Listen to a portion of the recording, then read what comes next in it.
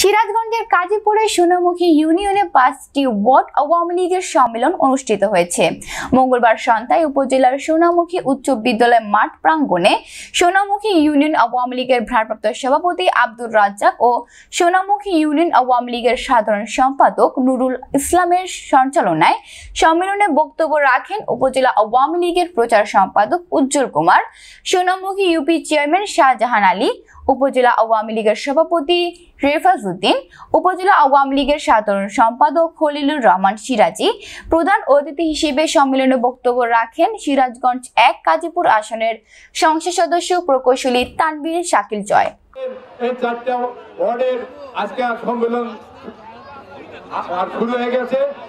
সর্বোচ্চ বাজার তারই পাশে চারটি গ্রাম, এই চারটি গ্রাম, চারটি ওয়ার্ড।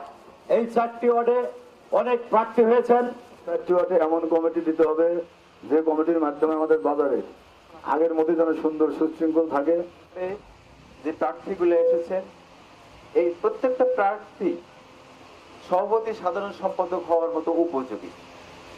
যারা চাইছে প্রত্যেকটাই উপযোগী, কারণ আজ থেকে প্রায় পঁচিশ, ছাব্বিশ, সাতাশ, আঠাশ বছর আগে কমিটি করেছিলাম আমি।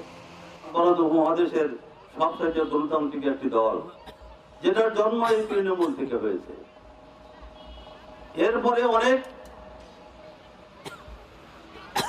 দল আছে যারা কেউ আদর্শের রাজনীতি যদি আমি করি, আমি মনসুর আলী, মোহাম্মদ নাসিম, প্রকৌশলী তানবির সাকির জয়ের আদর্শের কথা যদি বলি, তাহলে আমার পক্ষের একজন লোক, যোগ্য হোক আর অযোগ্য হোক তাকে হতে হবে।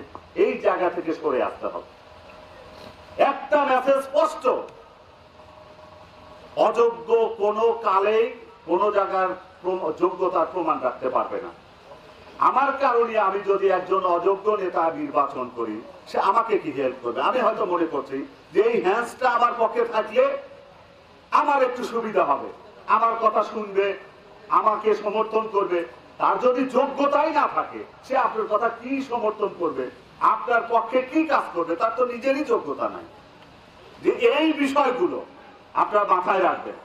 আগে চাঙ্গা করার সকল অপশক্তিকে মোকাবেলা করার যে যাত্রা আমরা শুরু করলাম, সোনামুখীর এই পূর্ণ গর্বিত মাটি থেকেই আমরা নৌকার নবযাত্রা কাজীপুরের মাটিতে শুরু করতে যাচ্ছি। আমি ধন্যবাদ জানাই সোনামুখী ইউনিয়ন আওয়ামী লীগের সকল নেতৃবৃন্দকে, থানা পর্যায়ে সোনামুখীর যারা নেতৃবৃন্দ আছেন সকলকেই সহযোগী সংগঠন সকলকেই